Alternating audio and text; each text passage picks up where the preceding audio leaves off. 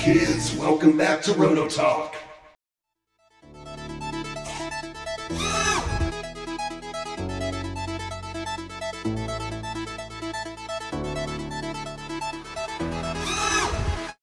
Kids, welcome back. Ah, it's a beautiful Monday. Very rarely do you ever get to say that, right? But it's like 80 degrees, beautiful breeze. I can't run any boats because they're having a ski clinic, uh, professional water skiing clinic on my water today and tomorrow. So uh, I can't run any boats unless I go over to my mom's to the big lake, and I'm too lazy for that. And excuse the hands, but uh, per usual, I've been doing some science experiments over there. Um, so I ordered, if you watched the electric tunnel build uh, or video I did yesterday, I think of the maiden or day before, whatever that was. I said I had ordered the gas one on Friday, and I already got it today. So this is a massive boat. Check this out. Look, here's the sponson sides. okay, this thing's huge. This is the hull plate. Now it's only 48 inches, but man, it seems big. It just really, really does. Um, and then you got radio box, transom bits. There's some uh, bulkheads in there. More radio box and other gear in there. And a whole mess of other stuff. So what we're going to do, we're going to go ahead and start this up. And we're going to work this through per the manual. Um, if it's a boat that I'm super familiar with, I don't necessarily use the manuals with Zipp Kit stuff because I've just built so many like cracker boxes and stuff. I don't even don't even open them, and I probably should. Um, but this one we are going to do, and it's almost almost identical to the electric build, the electric tunnel, uh, with a couple caveats. But for the most part, it's pretty close. So we're going to open these things up, and we'll be right back. Hopefully, the heck with it. We're going to go ahead and open these up now. Might as well just do it. If you're bored, maybe I'll put some background music in. I don't know. We'll see. So, I read through the manual this morning while I was doing some real work, stuff I actually do to pay the bills and buy boats like this. Uh, these are doubled. These are doubled. These are for the um, cowl hold down in the front. These are um, something. That's, yeah, something to do with the cowl frame, maybe. I don't know. Can't remember. Then you've got two options, if I'm reading this right. You can put in two big ass servos. So this would be your throttle servo. This would be two steering servos. Okay? Or you can get the one they recommend. That must just be a doubler, I'm assuming. Yeah. Okay. Um, or you can buy the one they recommend, which is a little robot. excuse me, a little robot servo thing that you can buy. But I got something different. I actually ordered this the other day uh, for a completely different project. It wasn't for this boat. It might end up in this boat. It might not. I'll have to waterproof it and all that. But this servo, I tested it already. I was going to do a video on it, and I probably still will. Uh, is probably going to go in Robo Mower because Robo Mower is getting some. He's not a Robo Mower anymore. He's a Robo Tractor, and he's running and he's bringing my boats up and down the hill now. But I wanted to make some modifications to him, and this was originally for that, but I don't think I'm going to use it for that. I might use it for this boat, whatever else. So the trick to these these big gas outboards, from what I understand, is uh, they turn very easily. I mean, just like easier than a rigger in the sense of a little goes a long way and you want a slow gradual and even with expo it just doesn't get it there so they recommend uh, they meaning Zipp Kits and lawless. Lawless is who makes the out drive the outboard drive for the back. Um, they recommend using something a lot slower. Well this is 180 kg rotational power. This thing's awesome. I already tested it. It's phenomenal uh, for the money I think I got for 60 bucks. Um, and it will run from 12 to 48 volts. Don't quote me on that. I'll put a link in the description for it, but this thing's really sweet. We'll do, actually, I'm not going to put a link in the description. We're going to do a whole video on reviewing this because uh, this is going to be really handy for some other things. We may use it on this boat, we may not. Um, so here's another doubler. If you use that servo one they recommend from the robot I use that term loosely. I'm a robotics engineer myself, and okay, toy robot website. Um, so some stabilizers there. Uh, these are for the bottom uh, can't remember ducts that go on the bottom of the boat. That sure looks like the tops to these. I'm guessing. Be like that. Yep. Okay. And some things. I don't remember it all. We're gonna use the man. I got the man. If you don't believe me, buck six. I got the manual right here. I am going to go by the manual So I got that going for me. because um, I don't think I was talking to my guys in the chat group today about this because I'm real excited about this. I have never ran. I did build the old Zipp Kits tunnel outboard, but I never finished it. I built it and I couldn't find some of the things I needed, and it, I think we're in the process of moving. So I just sold the whole hull to a buddy of mine and never ran it. So I've never had a gas outboard before. So I'm really excited for this. It's going to be quite a learning curve, I'm sure. So these are transom doublers. There's a bulkhead. We're going to separate these. There's a bulkhead. There's a transom. There's a tran. Damn, a lot of transom parts. 5A. This is rear braces for the transom. Looks like nose bits for the cowl. The cowl on this thing. Wait, let me show you this. Look at the size of this thing. This thing is massive. I'm going to do a back. Look at this. Look at that thing. That is huge. Um, I'm really, to be quite honest, hang on. I, I am really shocked that he can, that Joe at Zipp Kits and the crew over there. I shouldn't just say Joe. It's a, it takes a takes a village, right? I don't really. I'm not sure how he can sell this boat this cheap because it's like 200 and some bucks the kit, and it comes with a lot of stuff.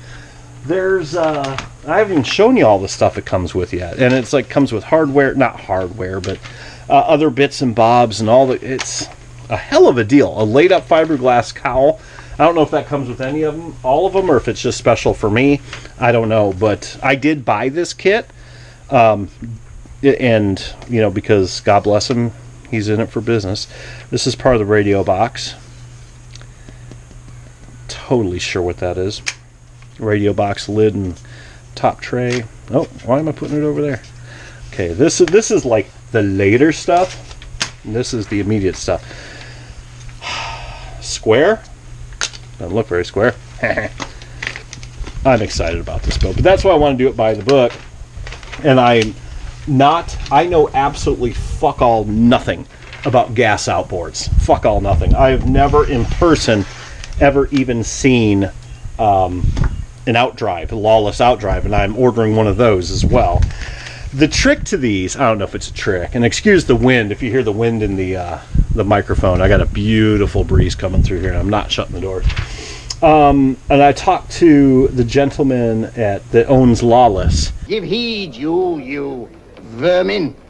Here's news to your advantage. and so, it seems like a super nice guy. And uh, he's hooking me up. I'm I'm buying a lower unit off of him, and he's sending tons of directions with it. And I'm so thankful because I've never never ever touched one of these things before, so it's pretty cool. But the problem with these, one of the reasons what I was starting to say, the reason I'm going by the book on this is because I've never seen a build video for a ga- RC gas outboard boat on YouTube. So if this is the only one, I want it to be reasonably correct. These are obviously the side plates. This is, I think, yes, this is the uh, strut gauge for your your prop. So we're gonna put that up there. Because if I lose that, I'm screwed. I'll be bugging Joe every day. Confound you, Shadwell. You drove the thought right out of my head. And it was an uncommon pretty one. These are other things. I don't know. Sides of some sort. We're going to put these over on the toolbox. Oh, yeah, we got this bag of grass here, too. Okay, let's see what else we got. Oh, here's the bottom of our, our duck, the bottom of our hull. Pretty straightforward. Now, if you guys watched, and if you're going to build one of these, now, word of caution this is not the cheapest boat to build. If anything, Hang on, my dog's humping the cat. Barry, stop, asshole. Um, if anything, this is probably next to like some bonsai twin or something crazy. This is probably one of the most expensive boats you can build. Uh, the Lawless Outdrive, I think, is $450. That's just for the lower unit. Then you have to slap a Zenoah engine on it, um, and that's another 250 300 bucks depending on where you get it then you have to buy funky servo stuff and it's it this i think i told my guys all in if you did this stupid cheap is like 1400 bucks ish. It's not a cheap machine but it's gonna be fun. I've built a thousand gas boats in my life. I have a thousand gas boats. And i said screw it. Throw caution to the wind. I'm gonna build us a nice outboard here. Hopefully get a nice paint job on it and uh, have a little bit of fun. And this will be my baby. This will not be something I'm building multiples of. it's too, it's pretty expensive, and I'm, I'm not cheap when it comes to boats, man. I'll, I'll build a ton of boats. You guys see that, but ah, pretty expensive machine, all in. But uh, I think it'll be worth it. It'll be so neat to see. I mean, I, for anything else, display thing's going to be impressive. It's huge. All right, so here's some uh, sticks for black. I don't have everything memorized. Okay, so these are uh, sponson sides, and we're going to use the foam cutter again on this. These are the cowl sides. These go inside the cowl, just like the electric one. Uh, these are the insides of the sponsons. These are the outside of the frame. We're going to put these sticks over here because I can't remember where they go. Uh, and these are other bits of the sponsons, the outer edge, I think. Okay, so we're going to put this stuff over on the toolbox drawer. That's where I store stuff that's not needed yet. Okay, so we're going to need these little outside dudes. I'm pretty sure these are the outside dudes. Yep, those are the outside dudes. Okay, and then this is the transom. So let's see, we're dealing with front or back. All right, so we got to flip this guy around. I'm assuming. No, that's right. Okay, I did put down a piece of craft paper here. I got a huge roll of this stuff.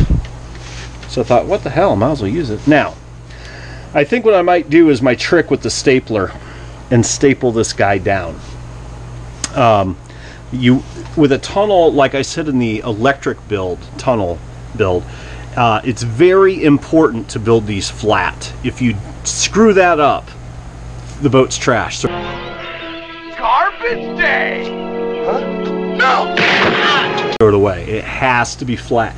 Even a rigger, in my opinion, has more forgiveness when it's not flat than one of these dudes. Um, and I love that electric one. I do have a different prop on it now. I haven't tested it yet. Uh, that electric one's great, and I've built many nitro tunnels. Um, but don't get cocky. Just because you've driven a, a 3.5 or a 7.5 tunnel hull doesn't mean you have any idea how the gas ones work. And I'm going into this as a complete ignoramus, as I do with most things in my life. And uh, so make it flat. Moral of the story. So we're going to do is we're going to frame this thing up here. Let's see what we've got. okay, I know for a fact these go in the back near the transom. I know this is a transom. Shit, I don't know. They're all numbered. Alright, so let's get rid of the big sides. We know we're not needing them yet.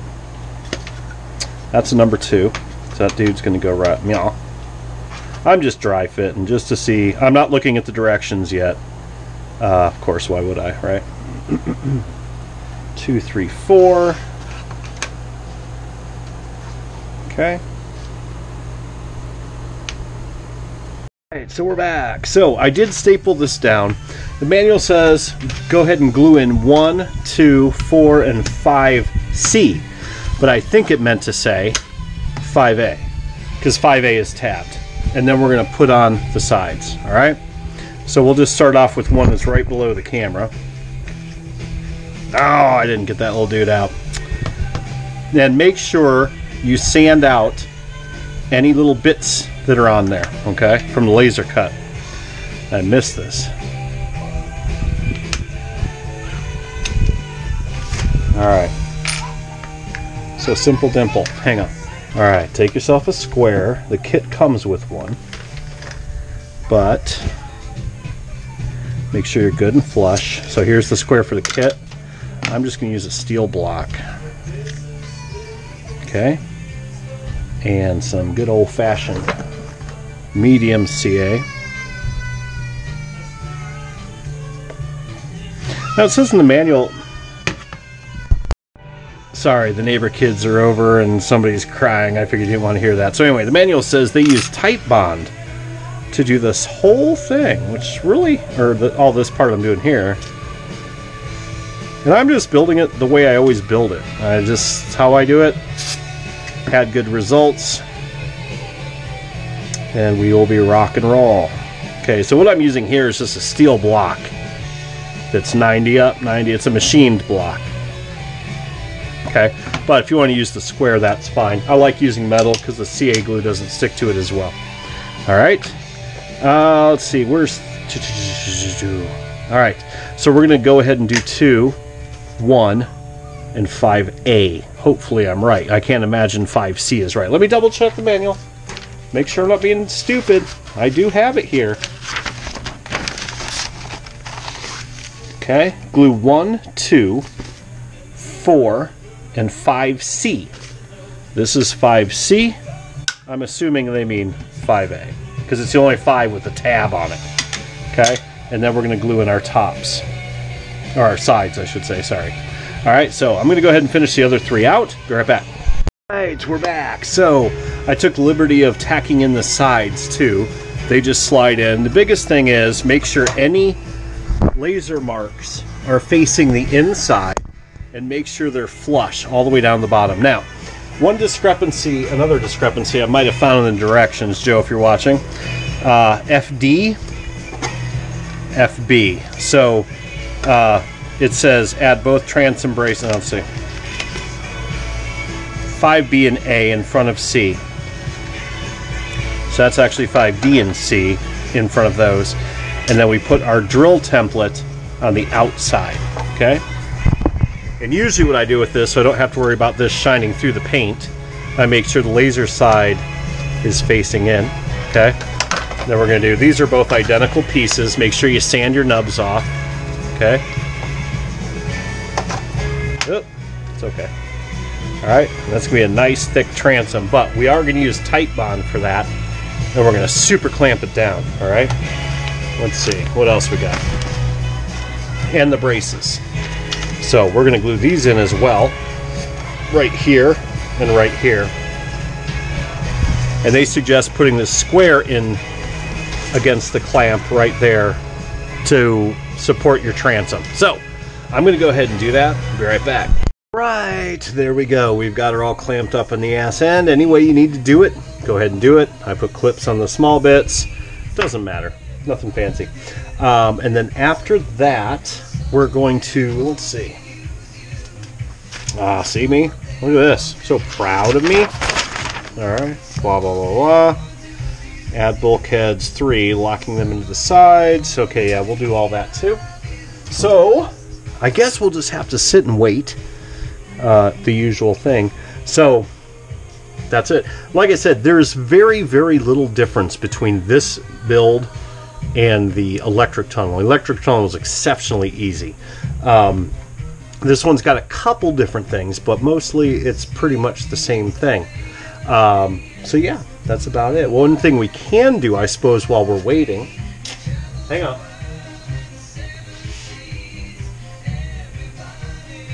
We can go ahead and double these up. Okay. And I'm pretty sure, let's look through the manual. We'll do it together. It'll be sweet. It'll be fun. Yeah, right there. Okay. See those glue four mounts together. Tab mounts on each end. Yep. So you end up with two of each. Alright, so we're going to go ahead and do that. And I'll probably sand them just after I'm done. So what you're going to do put the two tab bits together like that. So it's going to look like this, okay? Um, probably going to use CA glue or Titebond, I guess. I'll use wood glue. That's fine, whatever. And we're going to go ahead and uh, cinch these up, stick a clamp on them, let them cook. Be right back. Found the best way, I already did the first one, to align these is just get a little gooey, slap some I'm just using Titebond 3 waterproof waterproof, sorry, wood glue. Okay, like this. That's it. Then this side, this side you can't go flush because you got tabs on it, right? So I'm going to do we're going to go flat like that. So, so you guys can see it a little bit better. I'm lining it up with my fingers and pushing it flat against the workbench. Look at that. Perfect. All right. Then we're going to do the exact same thing with these discs here. Be right back. All right. Well, while that's cooking, we're going to put in trans uh, bulkhead 3. It's these two pieces here. Boom, boom, boom, boom. Okay. No real need to square this up if you don't want to. Um, but we will. Okay. Want to be the CA. Now I'm using medium CA on this build because that thin's just a nightmare. And I end up with uh, devil fingers by the time I'm done when I use thin. Okay.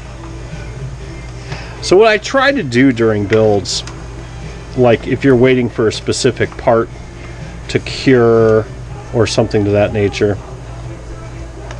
uh, try to do the other stuff as well. You know, like little bits and bobs like this.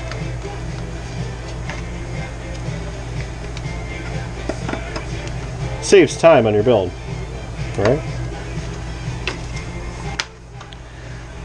It's like you don't have to follow the directions. I mean, read through them, but you don't have to follow them in order if there's little things you can be doing. Okay, and then it says next to glue in the bulkhead nose, or the front nose, I'm sorry. All right, so we're going to go ahead and do that. And it says make sure that that nose piece, where is that thing? I'll have to find it. But anyway, it's about yay long. We're going to put it right in the front. And it says to make sure that it's firmly butted up against here. All right. Now, one thing you want to make sure, guys, if this is like one of your first builds, which I can't imagine it would be, as big a boat as this is and whatever, but if it is, no matter what build it is, whether it's a super sport, whatever the case may be, um, make try to be and this is funny coming from me, but try to be neat with your CA glue beads if you're tacking them like I do. Tacking them like this saves a ton of time because it just boom, boom, boom, boom, boom, and then you can glue them in. Um, but be careful with your CA. You don't want big globs. A glob, a thick CA bead is useless. You want to be thin, and if it's thick, it, if you're gonna uh, panel something else up to it, okay, it's gonna make it stick out. You want to make sure as thin as possible. So what I do is I'll take the needle of the bottle and go right up it, and then I shoot the activator right at it, so it kind of spreads it into the joint and it makes for a nice tight if you need to laminate something else up with it. So I'm going to go ahead and do the bulk eh, or the nose. Then I'm going to take off these clamps. I think this is a good point to epoxy uh, what's already in here, I believe. So be right back. So we've got the nose clamped up. The nose wood. Got the ass end still clamped up and gluing. Now, the last thing that we're going to do tonight is You've got these, I forgot about this with the electric. You got these A, B, C, and D. These are for, um, so you can put the skins on and you can glue something to the skins. So what we're going to do with these, you can see A, well, A, B, C, D. All right, so I'm going to use wood glue again, nothing massive and we're going to go ahead and seal all those up both sides A B C D okay that's going to give you some mounting surface for your deck skins when you put them on Oh, that's what those were. Anyway, um, and then what I'm going to do after that is complete, I'm going to take that opportunity before I get into this. I'm actually going to go ahead and epoxy it because I'm going to call it a night tonight, and I want what I've done so far to be epoxied and dried and cured, just cured before morning, because uh, been long in the tooth, and I think that's enough for today. So until the next time, kids, go ahead and glue these in with the Type Bond 300 or Type ah, Woo Titebond 3, and then we're going to epoxy all of our joints up, and we'll continue on tomorrow. Keep dry side up.